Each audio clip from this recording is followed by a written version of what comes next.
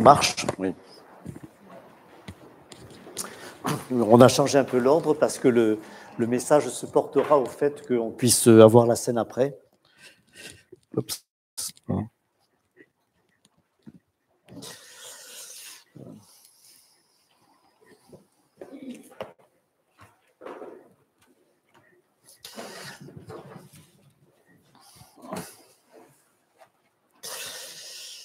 Alors ce matin, nous allons nous pencher sur le texte de Luc chapitre 17 verset 11-19 qui nous parle de la guérison de dix lépreux. Alors je vous invite, euh, avant de prier, on va, d'abord lire le texte. Luc 17, 11 à 19.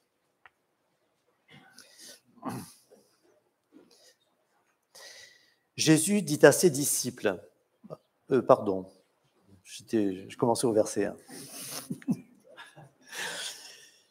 Jésus, se rendant à Jérusalem, passait entre la Samarie et la Galilée. Comme il entrait dans un village, dix lépreux vinrent à sa rencontre, se tenant à distance. Ils élevèrent la voix et dirent Jésus, Maître, aie pitié de nous. Dès qu'il les eut vus, il leur dit Allez vous montrer au sacrificateur. Et pendant qu'ils y allaient, il arriva qu'ils furent guéris. L'un d'eux, se voyant guéri, revint sur ses pas, glorifiant Dieu à haute voix. Il tomba sur sa face aux pieds de Jésus et lui rendit grâce. C'était un Samaritain. Jésus, prenant la parole, dit, Les dix n'ont-ils pas été guéris Et les neuf autres, où sont-ils? Ne s'est-il trouvé que cet étranger pour revenir et donner gloire à Dieu? Puis il lui dit, Lève-toi, va, ta foi t'a sauvé. Alors, je vous invite à prier pour, euh, pour commencer. Seigneur, nous te prions d'ouvrir nos oreilles et aussi nos cœurs pour que nous comprenions ce que tu veux nous enseigner à partir de ce texte qui paraît si simple, Seigneur, et euh, te demandons de, de nous bénir à travers ces paroles. Amen. Alors, je ne regarde pas souvent la télévision, mais j'ai pu voir ces derniers jours plusieurs fois la même publicité. Je vais m'en servir pour l'introduction. Euh, vous avez dû voir peut-être une publicité d'Intermarché où on voit qu'on utilise 10% de notre cerveau. Je ne sais pas si certains l'ont vu. Et il y a une petite fille émerveillée qui entend ça. Et puis, euh, elle regarde, euh, il y a un avion qui décolle, elle dit 10%, avec 10%, on peut faire un avion. Puis il y a les pyramides d'Égypte, avec 10% les pyramides d'Égypte.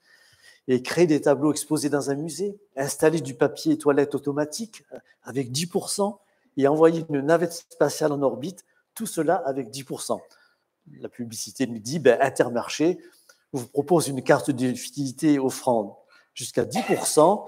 Donc cela vous suggère que vous pouvez obtenir de grandes choses avec ces 10%. Mais dans notre passage, nous avons 10% des lépreux qui reviennent. Alors, c'est un seul lépreux. Mais on va voir que ces 10% nous apprennent beaucoup de choses aussi. Ces 10% nous apprennent beaucoup de choses et tout ce qu'on va voir dans le message vient de ces 10%. Alors, déjà, ce, ce, lépreux qui est samaritain, les neuf autres sont juifs, qui s'en tiennent à loi, nous montre prophétiquement ce qui va se passer. C'est déjà presque un élément prophétique. En effet, les païens, les impurs que, que, nous sommes aux yeux des Juifs, se tourneront vers Jésus après sa mort et à sa résurrection, tandis que la majorité du peuple juif ne le reconnaîtra, ne reconnaîtra pas et restera sous la loi. Et déjà, on voit ça finalement. Jésus est là, il accorde sa grâce. Hein. La lèpre est une image du péché. Et ce n'est qu'une petite partie qui va le reconnaître. Et, bizarrement, ce ne sont pas les Juifs, c'est un, Samaritain. Cela nous parle de ce qui, allait bientôt se passer. Cela nous rappelle aussi que Jésus est mort pour le monde entier. Hein. Un Jean de 2 nous dit que Jésus-Christ est mort non seulement pour nos péchés, mais aussi pour ceux du monde entier. Il est une victime expiatoire pour le monde entier, mais finalement, la majorité ne, ne viendra pas à lui, sauf un petit nombre viendra à lui pour être sauvé. Donc, euh, il y a déjà dans cette histoire quelque chose qui nous parle sur ce sujet. Après, bien sûr, vous avez compris que le thème était surtout par rapport à la gratitude, à la reconnaissance, mais nous verrons un lien particulier entre la gratitude et notre relation avec le Seigneur, ce que nous avons déjà évoqué dans le début du culte et même dans les prières. Et on verra des petits aspects aussi dans ce texte. Alors, Saint Augustin, à juste titre, dit que Jésus s'est servi des choses visibles pour conduire notre foi vers des réalités invisibles. Et en fait, toutes ces histoires de guérison que nous avons dans les évangiles qui se sont passées ont souvent une implication de quelque chose de spirituel qui nous parle d'autres vérités. Et ce matin, nous allons voir en particulier le problème de la gratitude vis-à-vis de Jésus-Christ. Parce que Jésus aurait pu agir totalement différemment. Euh, il y a déjà une histoire de lépreux bien avant où il le guérit de suite. Il s'approche, euh, il le guérit, il le touche même. Alors que là, euh, ça ne se passe pas du tout de la même façon. Il laisse faire et dit eh ben, allez vous montrer au sacrificateur.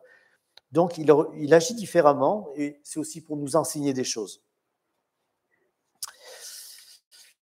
Alors le, premier point, on va revoir l'histoire en la commentant euh, et après on verra deux autres aspects.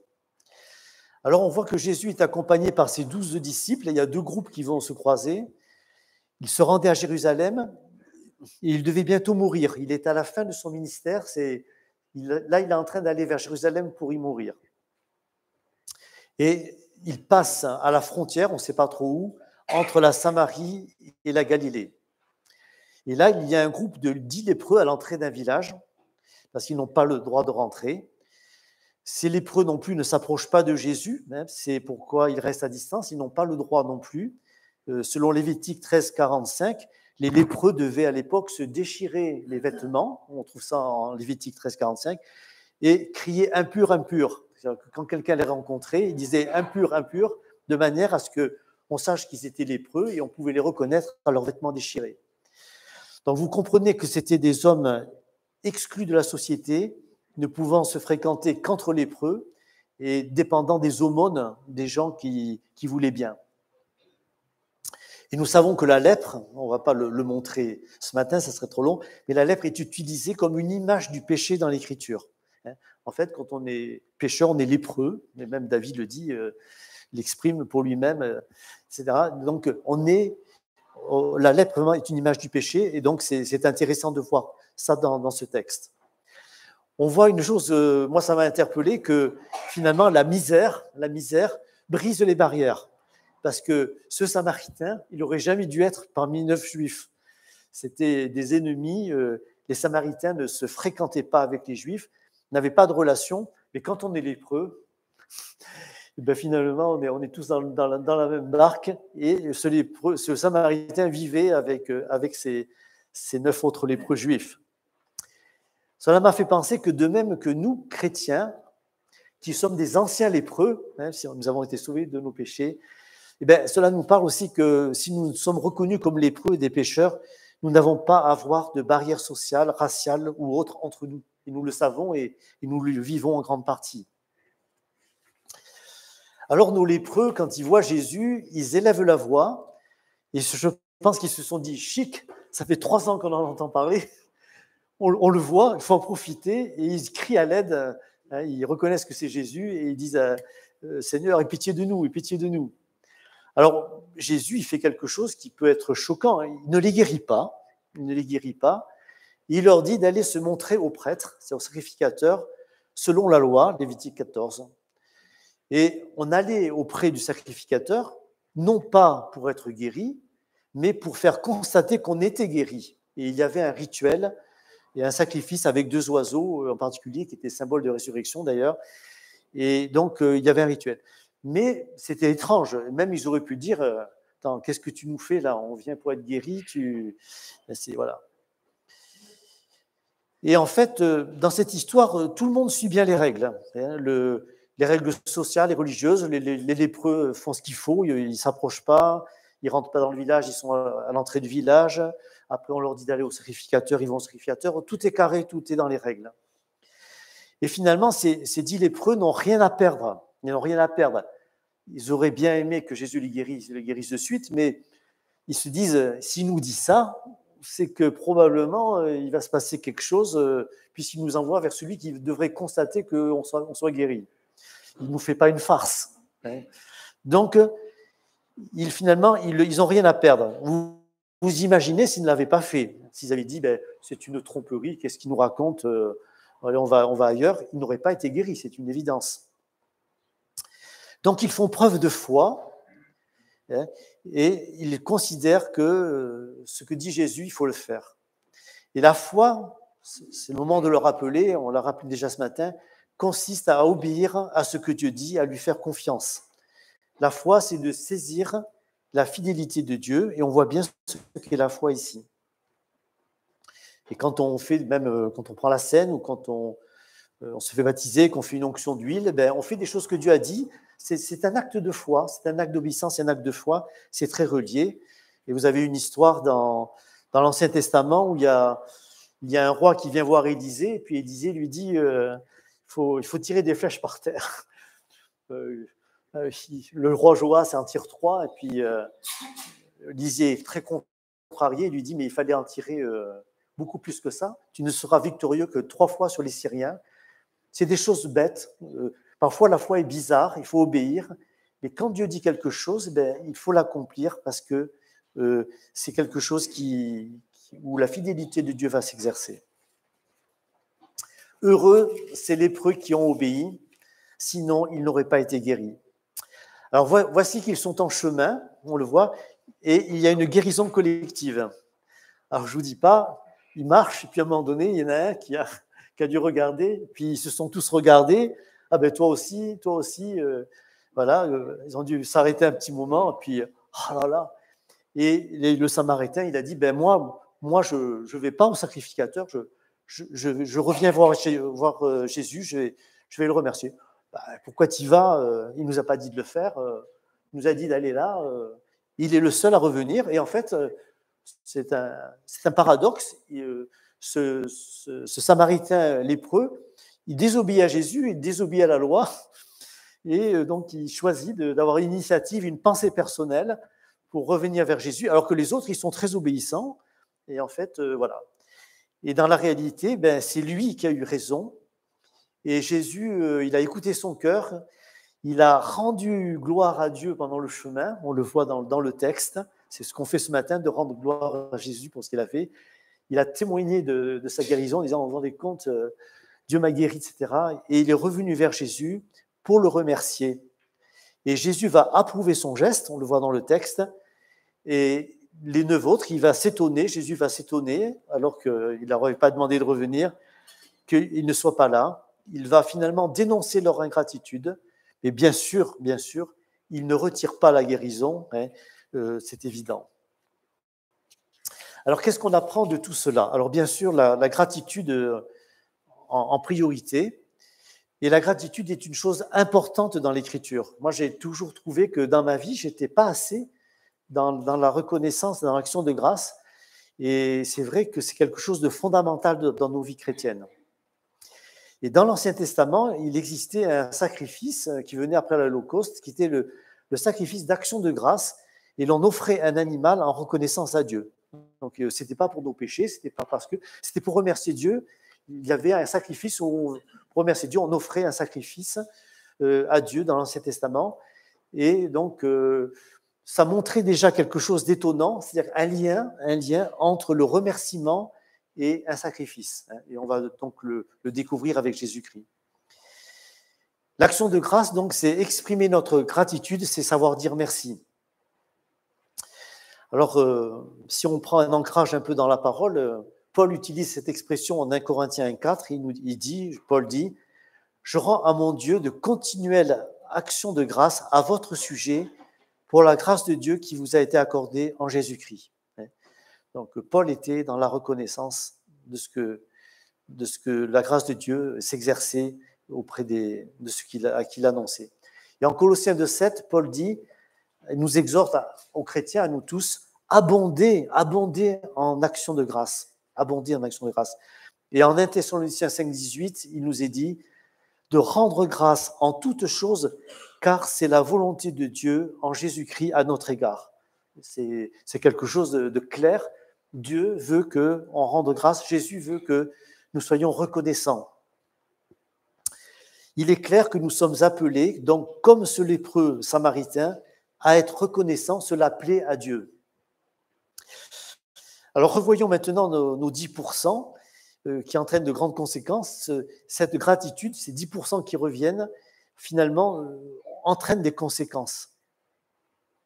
La première conséquence va être la transformation intérieure et probablement le pardon des péchés de cet homme samaritain. Jésus semble indiquer euh, cela envers le samaritain en lui disant que sa foi l'a sauvé. Et son retour, c'est un demi-tour qu'il fait, c'est la pensée de la conversion, le demi-tour. Son, retour témoigne d'une conversion. Et souvent, dans les récits de guérison que nous voyons avec Jésus dans les évangiles, Jésus faisait deux choses. Souvent, il guérissait, et, souvent, il guérissait, et il y avait aussi le pardon des péchés. Hein. Et parfois, il commençait par le pardon des péchés, et il guérissait après. Vous savez, cette histoire scandaleuse pour les pharisiens qui étaient là, où le paralytique descend, et on lui descend un paralytique, il y a tout le monde qui est là, et il dit, tes péchés sont pardonnés, voyant sa foi. Et puis, euh, les autres, ils disent, euh, ils blasphèment d'une part, et puis euh, facile, quoi. voilà. Mais après, Jésus leur dit, ben, afin que vous sachiez que le Fils de l'homme a le pouvoir de pardonner les péchés, je te le dis, lève-toi et marche. Et ce paralytique, donc, se lève et, marche. Et Jésus faisait souvent ces, ces, deux choses. Et cet homme, ce Samaritain, a été au bénéfice euh, de cela, alors que les neuf autres, non. Un texte qui m'a toujours encouragé dans, l'action de grâce, c'est le psaume 50, et au verset 14 que je vous cite, qui montre que une des conséquences de la gratitude, c'est aussi une source de bénédiction pour nous. Et dans le psaume 50, verset 14, il est dit Offre pour sacrifice à Dieu des actions de grâce et accomplis tes vœux envers le Très-Haut, et la promesse, et invoque-moi au jour de la détresse, je te délivrerai et tu me glorifieras. Euh, c'est quelque chose de, une promesse qui est extrêmement touchante. Invoque-moi au jour de détresse, je te délivrerai et tu me glorifieras. Je me souviendrai que tu es quelqu'un qui, rend grâce. Et au verset 23 de ce même psaume, il est dit que celui qui offre pour sacrifice des actions de grâce me glorifie. Celui qui veille sur ma voie, je ferai voir le salut de Dieu. C'est ce qui se passe pour ce lépreux. Il lui fait voir le salut de Dieu. Et donc, euh, c'est une promesse énorme. Et moi, je sais que jeune chrétien, j'avais repéré ce verset, je me l'étais mis dans la poche, hein, et, je me suis dit, ben, j'aurai un jour un jour de détresse. Alors, ça n'a pas manqué. Euh, il y en a eu sans doute plusieurs dans, ma vie. Il y en a eu un qui a, été terrible, que beaucoup connaissent avec mon fils Timothée il y a une quinzaine d'années. Et combien Dieu l'a délivré, il nous a délivré. Ça a été quelque chose d'incroyable. J'ai pu voir la, le fait que Dieu m'a délivré, je l'ai glorifié, et je l'ai invoqué au jour de la détresse, et je lui ai mis ce verset sous les yeux. Je lui ai dit, Seigneur, c'est le moment d'accomplir ta promesse. Donc, c'est un verset que vous devez garder dans votre trousse d'urgence spirituelle, et c'est quelque chose qui peut nous servir parce que tous dans notre vie, nous avons des moments qui peuvent être difficiles. Je ne voulais pas en parler. J'en ai parlé un peu et donc ça m'a ému. Donc, le, troisième point que je, que je voulais voir, c'est en fait la relation incroyable qu'il y a entre la reconnaissance et notre relation personnelle avec le Seigneur. En fait, la base de notre amour pour Dieu, la base de notre relation avec Dieu, c'est vraiment la reconnaissance et l'action de grâce. La véritable obéissance souhaitée par le Seigneur n'est pas superficielle. On est dans, un thème de l'obéissance dans, ce texte et de la, bonne et de la mauvaise obéissance. La vraie, la vraie obéissance repose sur une relation authentique et personnelle avec le Seigneur. Ce Samaritain qui est étranger et méprisé socialement, il a une double peine, désobéit à juste titre courageusement à l'ordre de Jésus et à l'obéissance de la loi pour venir témoigner sa reconnaissance, tandis que les neuf autres se contentent d'obéir à la loi. Voilà, ça, montre, ça, montre qu'avec le Seigneur, on peut avoir des initiatives et des pensées personnelles. Et l'obéissance et l'égaliste des 90% ne leur permettra pas d'établir une relation avec Dieu. Hein, cela les, empêche d'être reconnaissants, mais cela leur empêche de voir qui est Jésus et de faire une vraie rencontre avec lui. Hein. C'est paradoxal. Ils ont vécu une délivrance physique, ce qui est formidable sur le plan humain, mais ces neuf ne sont probablement pas sauvés. Ils n'ont rien connu de Jésus, sinon qu'ils ont été au bénéfice d'une guérison. alors euh, il existera sûrement euh, des gens qui comparaîtront devant Dieu à leur mort et au jour du jugement. Il existera des personnes qui auront vécu des délivrances authentiques de la part de Dieu dans leur vie, sans jamais avoir rendu grâce à Dieu pour cela. Ils ont été, ils ont vécu des choses incroyables, des, des, choses, des réalisations de projets, des choses formidables. Dieu aura été derrière, mais ils ne l'auront jamais reconnu.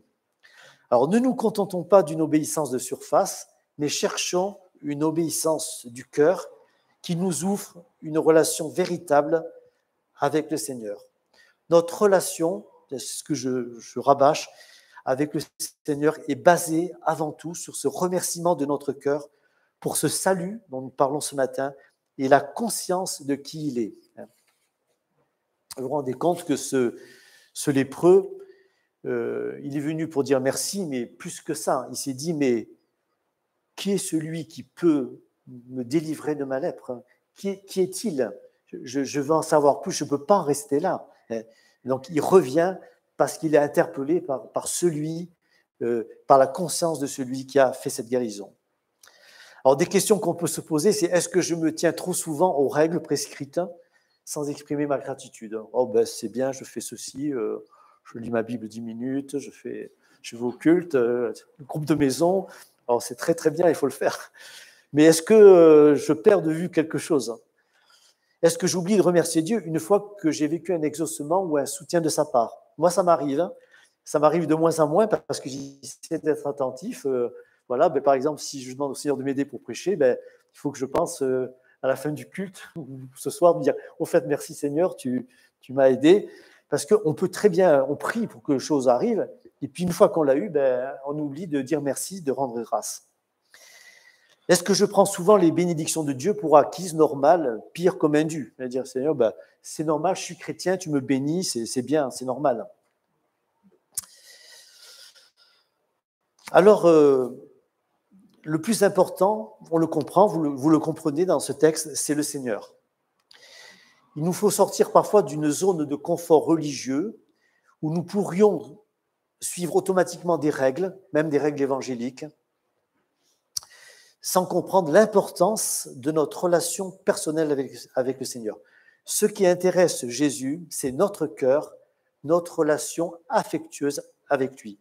Il faut toujours se souvenir de ce texte qu'on connaît si bien, d'Apocalypse 3.20, où le Seigneur compare notre relation avec lui à un souper en tête à tête. Vous connaissez, je me tiens à la porte et je frappe, si quelqu'un entend, moi, c'est vraiment ça que le Seigneur attend de nous.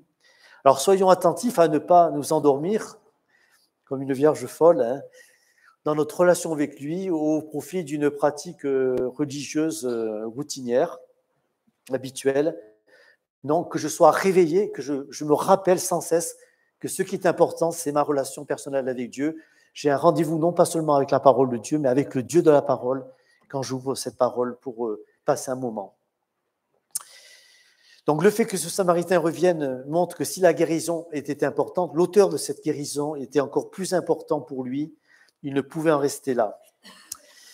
Notre vie doit être axée sur le Seigneur, le donateur, plutôt que sur les bénédictions, bien sûr, que nous recevons. Alors un petit point juste sur l'aspect désintéressé. Euh, Jésus dénonce leur ingratitude, mais il ne les punit pas et il leur enlève pas la guérison. Hein. Il agit non pas pour obtenir une reconnaissance, même s'il espère, euh, ne serait-ce que pour nous, mais il agit par pitié et miséricorde. Le Seigneur est miséricordieux pour les hommes. Nous aussi, donc, de ce fait, nos actions doivent être désintéressées. Il ne faut pas oublier que dans le Sermon sur la montagne, Jésus nous dit que le Père fait lever le, soleil sur les méchants comme sur les bons, qu'il fait pleuvoir sur les justes comme sur les injustes. Et d'ailleurs, quand on se rappelle la première alliance qui a eu lieu après le déluge, euh, cette alliance a lieu avec l'humanité entière. Hein, et dans, vous le voyez en Genèse 8, 21, 22, 9, 8, 10 et 16. Euh, il incluait tous les croyants, quelle que soit leur, situation, s'ils étaient croyants, non croyants, débauchés ou justes. C'est une décision, une alliance que Dieu fait qui ne recommencera plus. Et c'est une, alliance qui est faite avec l'humanité entière, pas seulement avec, avec les croyants. Ça viendra plus tard euh, avec Israël et Abraham. Il faut être conscient que Dieu aime, nous aime à nous, mais qu'il aime vraiment l'humanité. Il aime les hommes et les femmes qui sont souvent bénis, bénis par lui sans qu'ils le sachent, sans savoir que c'est lui qui est derrière les grâces et les réussites vécues. Et Dieu se réjouit de beaucoup de choses qui se passent dans la vie d'être humain, mais ils sont appelés à être un jour à venir à lui. Jésus est mort pour tous les hommes, mais ceux qui seront sauvés seront ceux qui n'ont pas été indifférents, mais qui ont été reconnaissants de ce salut, conscients de la divinité du Seigneur. Hein. Et c'était terrible de voir euh, l'indifférence euh, autour de nous. Nous, nous avons, nous avons compris, nous, sommes, nous sommes ce lépreux samaritain qui est revenu. C'est nous, ça.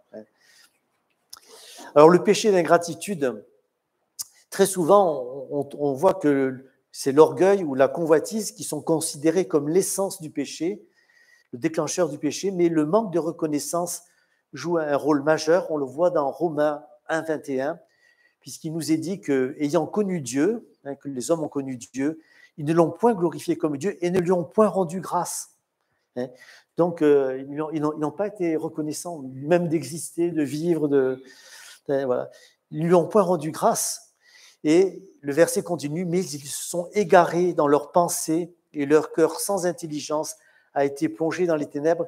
Et on voit que quelque part, le manque de reconnaissance euh, nous plonge dans les ténèbres aveugles. Hein. C'est ce que nous dit ce, texte de Romains 1, 21. Mais ce péché d'ingratitude ne concerne pas seulement les saints croyants, mais peut constituer pour nous, pour nous un danger dans la vie de disciples. Et Pierre le mentionne en 2 Pierre 9, il évoque des chrétiens qui ont oublié la purification de leur ancien péché. Quelle tristesse hein. Des chrétiens, en 2 Pierre 9, qui ont mis en oubli la purification de leur ancien péché. Heureusement, on a la scène pour nous le rappeler. Hein, si, normalement, on ne peut pas oublier ça, c'est ça qu'on ne doit pas oublier. Et le Seigneur nous a donné la ressource du souvenir parce qu'il sait que nous sommes oublieux. Il a institué la scène que nous allons prendre tout à l'heure pour que nous ne soyons pas oublieux et que nous puissions abonder en actions de grâce, conscients de tout ce que nous avons grâce au Seigneur et ce qu'il a fait pour nous. Et le mot eucharistique est utilisé, euh, par exemple, en milieu catholique, utilisé parfois pour la scène, vient de l'étymologie grecque qui signifie action de grâce. Et quand nous prenons la scène, nous témoignons en fait de notre reconnaissance d'être sauvés. Nous rendons grâce pour le sacrifice de Jésus-Christ, de ce qu'il a fait pour nous. Hein, c'est la ressource du souvenir. C'est l'essentiel. Nous avons, en fait, ce matin, nous parlons de, quelque chose de simple, mais d'essentiel, de fondamental, euh, qui, est, de la, qui, est qui est basique pour nous.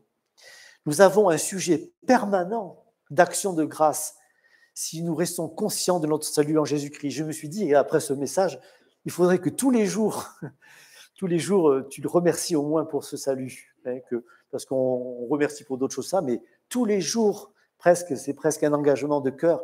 Tous les jours, je dois être reconnaissant pour, euh, pour ce salut. Hein. Il y a, parce qu'il y a un lien fondamental entre l'esprit de reconnaissance et ma relation avec le Seigneur. C'est comme si la reconnaissance était la racine de l'arbre de ma relation avec Dieu, de mon amour pour lui. C'est la racine. Hein.